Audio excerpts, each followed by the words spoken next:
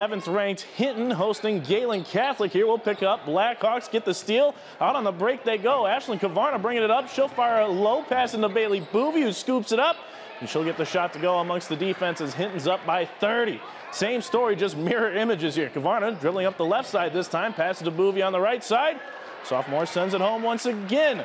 Isaiah Zitzman running the point for the Jays, and you know what? She'll stop, collaborate, and listen before hoisting this triple to cut into the lead. But the Blackhawks with it once again. Kavarna just going to push it up to Olivia Peterson. Peterson feeds Avery Burgett, and the senior picks up three the old-fashioned way. Hit wins 75 to 35. Thriller of a matchup in the boys contest here, though. We'll pick up late fourth quarter. Jays get it to Gabe Wilchin on the elbow, and the senior, he's automatic from the bow. Jays they lead now after being down big.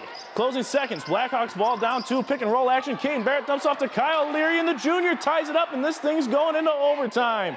In OT, Hinton swings to Barrett in the corner. He goes inside to Carver DeGroot, and I am DeGroot.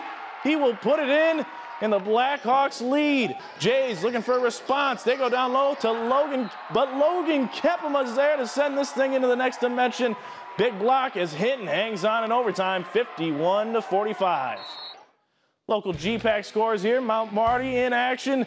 The Mount Marty men play tough, but fall just barely to a Jamestown Jimmies team, 72 to 71. Jimmies take the win in the women's matchup as well, 74 to 55.